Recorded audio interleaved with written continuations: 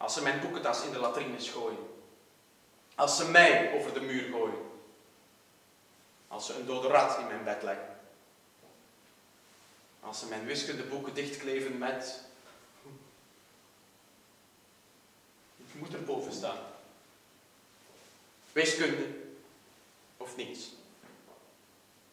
Ik mag mij niet meer laten leiden door het medelijden met mijn vader. Ik moet een eigen pad kiezen. Hij, hij laat zich vangen, meeslepen. Eerst hield hij van Danton, dan van Robespierre, dan tegen Robespierre en voor Napoleon. Nu is hij oud, Napoleon al lang dood en er is nog altijd honger. Mijn vader. Ik zou mijn vader zo graag troosten met goede punten, maar de school, de school. Ik braak ervan. Een karakter dat ik moeilijk kan doorgronden, maar dat mijn inziens vooral door verwaandheid wordt gekenmerkt. Meester Vernier, inzet en vooruitgang, voortreffelijk. Papa, de vraag is niet of ik van wiskunde kan leven. Het antwoord is, ik leef ervoor. Ik ben kuis, ik ben wiskundig, ik ben kuis, ik ben wiskundig. Ik wil niet eten, ik mag niet eten. Want veel gelijk vorm dat kost, er zijn even Ik wil niet eten, ik mag niet eten. Ik heb honger, ik ben gevangen en valt dat eten wil ik gewoon niet eten. Ik wil niet eten. Want de medicijn vergelijking van de eerste graad alle vragen oplost. Dan wordt een druk en zo. Dan ga je vloer Ik wil niet eten, ik mag niet eten. Ik moet denken, ik wil niet eten. Ik wil werken, ik moet werken. Ik wil niet eten, ik mag niet eten. Ik wil niet eten. Ik. Ik kijk door het raam. Geschreeuw, buskruis, daar, daar, daar, beneden gebeurt van alles. En hier, hier slaapt men. Ik wil niet horen hoe andere onbekende mensen sterven voor mij. Ik en tegelijk het diepe kreunen van de slaapzakken. Ik zal tonen hoe een mens sterft.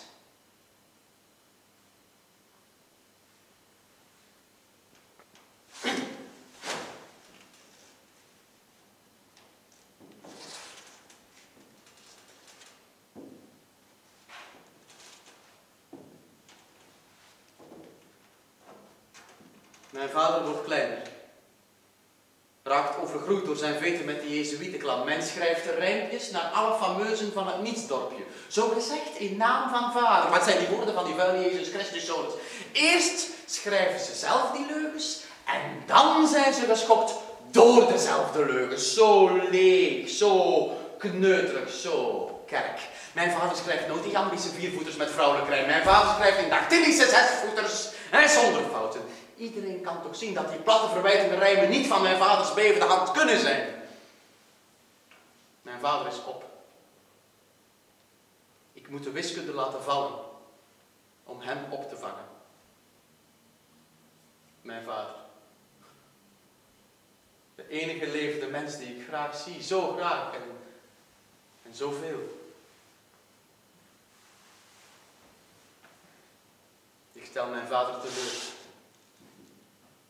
Ik kan niet doen wat ik beloof. Ik ben 16. En we vergissen ons in mij. Ik wil, ik wil een jaar vroeger naar de École Polytechnique. Dat, dat zou iets bewijzen. Dan zouden mijn leraars andere briefjes schrijven. Het is mondeling. Weet ik. Ik ben niet goed met de mond. Weet ik. Ik geef liever een blad af. De kern van een vergelijking zou aan het licht kunnen worden gebracht door het karakter van haar groep, bestaande uit haar coëfficiënten. Zo. Zo beloon ik mijn vader met mijn eerste stap in een nieuw denken. Mijn eerste artikel door meneer Evariste Galois. Een theorema en een bewijs over periodieke continue breuken. Mijn vader is trots. Hij wrijft over de letters van het artikel. Nu, nu, nu ben ik zelf iemand. Niet langer de zoon van een ander iemand. Evariste Galois is nu geboren. Met mijn artikel vast in de hand ga ik naar het ingangsexamen aan de École Polytechnique. In de gang staan de marmeren koppen van mijn voorgangers. Newton en Leibniz staan in de dood nog altijd in mekaars ogen te kijken. Descartes verveelt. De examinatoren al evenzeer. Enkel vragen uit het boekje, geen om over na te denken. Mijn heren, ik ken geen duizend saaie oefeningen, ik zoek er de oplossingen voor.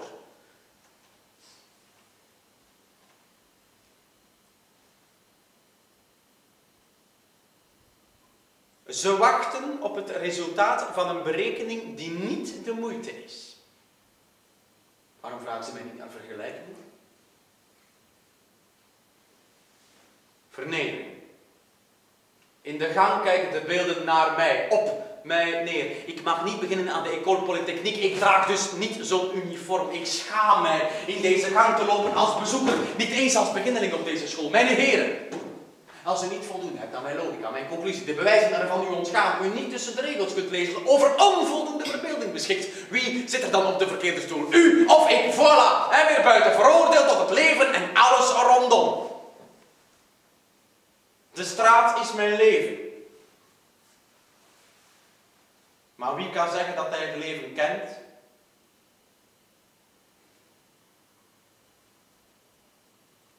Ik stel de vragen. Ik geef het antwoord. Zo gaat dat als men alleen is.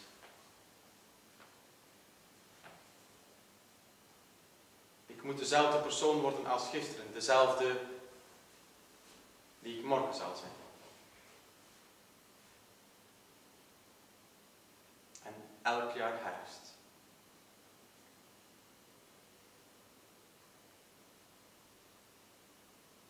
En elk jaar lente. Mensen die bang zijn, geloven graag in leugens. Mijn moeder ze plooit nu helemaal rond haar Bijbel. Ze kan er bijna inkruipen. Zo dun is ze geworden. Het boek openbaringen. Maar de vijfde graad oplossen. Dat zou een openbaring zijn. Als mensen s'avonds naar de sterren staren, bediscussiëren ze arm in arm waar de grote en de kleine beer hangen. Ik ben alleen in de avond en ik weet, de beren hangen. Ik zit op het dak van de school. Kijk, kijk naar de revolutie. Altijd, altijd, altijd op de verkeerde plek. Als die directeur de poort nu niet opent, dan is alles voorbij. Alles gewonnen, alles verloren. En ben ik nog altijd geen held. Is ongeluk te meten? Word ik echt gelukkig van wiskunde of doe ik maar alsof? Omdat dat het enige is wat ik kan. Omdat mij dat afscheidt. Aan de anderen. De poort gaat niet open. De gevangenis blijft dicht. De zijkant is alweer mijn plaats.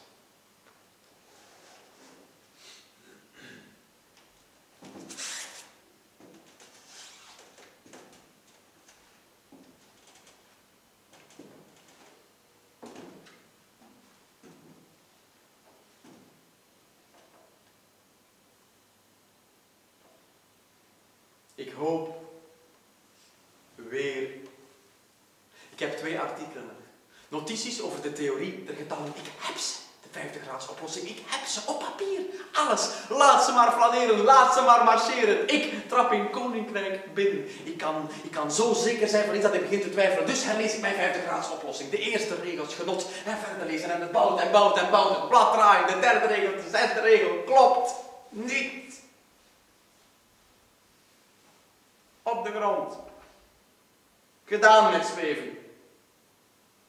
Evariste Galois is weer de domme student die niet is toegelaten. Ik ben en ik blijf Evariste Galois. Weer doelloos. Ik wil niet zo zwak zijn van hart en hoofd. Volhouden. In herhaling vindt men de meester. Ik wil doordringen in alle vergelijkingen tussen mens en goed, tussen God en straat, tussen wraak en troost, tussen ik en ik.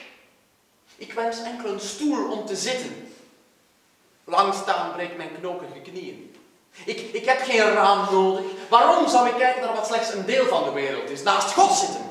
En uitkijken over het stelsel, dat, dat zou een goede plek zijn. Maar God is gevallen uit de statistiek wegens te grote onbekende. God behoort niet tot de deelverzameling van mijn interesses. Ik leer zonder leraar. Want van school gegooid. Dat is alleen gevangenis minder. Ik moet alleen verder met mijn verzwaard hoofd en hart. Ik schrijf op de muur dat de directeur geen van beiden heeft en dat kost mij mijn school. Of dat een kost is? Ik ben 17. Mijn vader staat op een richel. In een kamer, in een huis, in een straat. Hij kijkt naar beneden. Hij twijfelt. Hij springt. Twijfelde hij om mij? Mijn vader is dood. Hoe? Het was een goed man. Hoe? Hij nam zijn leven in eigen hand. Ik had hem kunnen vangen.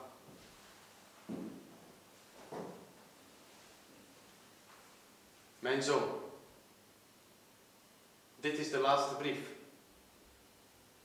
Als je hem leest, ben ik al niet meer levend. Heb geen verdriet, heb, heb geen wanhoop, heb geen pijn. Probeer zo snel mogelijk weer verder te werken. Vergeet je vader, vergeet je vriend. Ik, ik kon niet anders, daar moet je aan geloven. De Jezuïeten hebben het mij onmogelijk gemaakt nog langer te leven. Door zelf te sterven, win ik het respect dat ze niet hadden voor mijn familie. Niemand. Niemand zal ik nog kwetsen, Evarist. Niemand. Ik ben vermoord door de mensen van mijn dorp. Ze hebben een burgemeester vermoord met het kruis in de hand. Later zul je groot zijn. Later zal ik niet meemaken. Jij misschien ook niet. Vecht, mijn zoon. Wees moediger. Wees sterker. Wees beter dan ik. Innige kus. Je vader. Nicolas. Gabriel. Calma.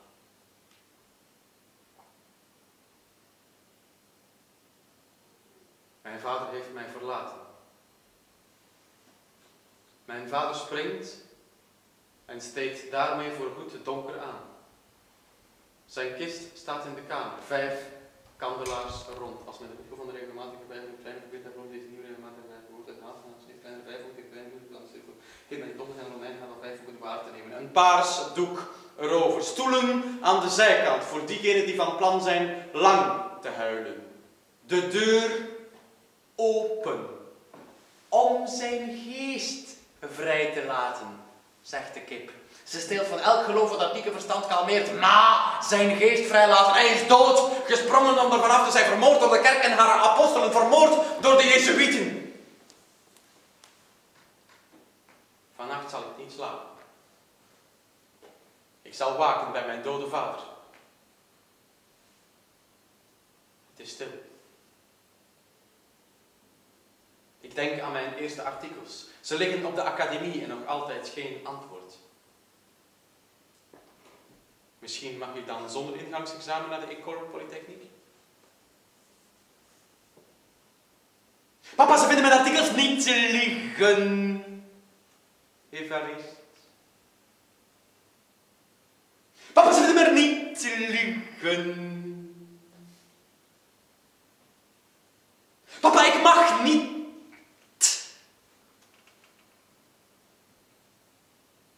Het is ochtend. De kip al vroeg wakker, blij dat papa een christelijke begrafenis krijgt. Een schande, dat is het. Eerst vermoorden ze hem en dan dekken ze hem toe met wierook en paternosters. Wat wist Jezus godverdomme van wiskunde? Vermenigvuldigingen van vissen met brood, lammen doen staan, blinden doen zien. De grote God laat zijn enige geboren zoon geboren worden om hem daarachter dood te kloppen aan een kruis uit liefde. Ik haat de kerk, ik haat ze. Want ze vermoordde mijn vader, vergiftigde mijn moeder en liet mij als wees achter. Zolang een mens kan rekenen op zichzelf, zijn vader, zijn leven. Zolang is alles rond en goed. Papa, wat is het verschil tussen moeras? Papa.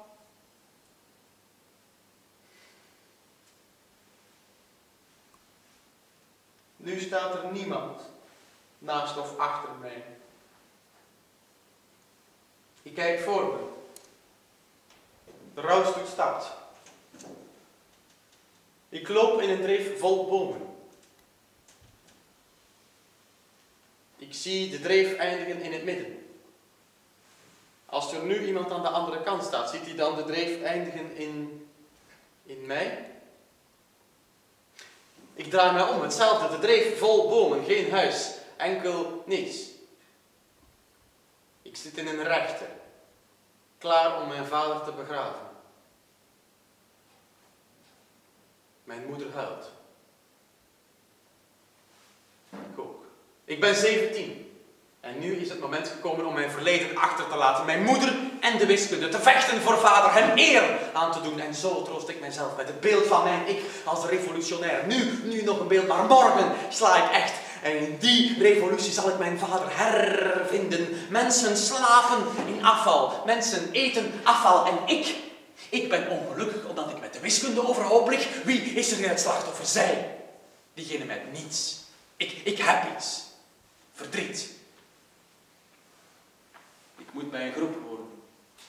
Dan heb ik een reden, een geweten, een geweer, een stem. Ik moet bij een groep horen.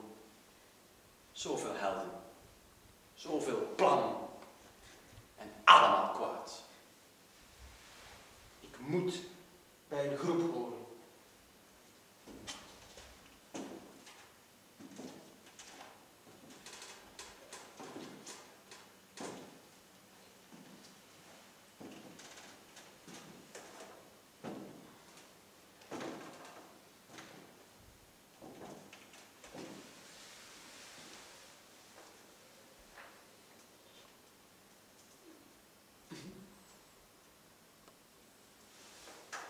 En dan. En dan is er één. Herbonville. Lang, slank, snor. Ik klein, slank, zonder snor. Ik ben zijn kleinere ik, het schoolvoorbeeld van de geslagen hond aan zijn voeten. Eindelijk. Iemand die mij weer graag ziet. Ik ben lid, ik ben lid van het genootschap voor vrienden van het volk. Genootschap, een verzameling vrienden, hoop ik al lang op het volk. Ben ik één van. Ik ben lid van een groep, eindelijk. Ik zie er beter uit in uniform dan zonder. En zo, en zo zit ik in vaders stoel. Ik duw mijn neus in de rug van de stoel. Ik ruik hem. Zou ik ook zo ruiken? Ik hoop het. Papa, ik wil alles weer zoals het was. Maar ook hier aan deze kant. Niets dan stilte. Ik ga bij de artillerie van de Nationale Garde. De Nationale Garde is republikeins. Ik droom de koning dood te schieten met een kanon. Ik haat de moordenaar.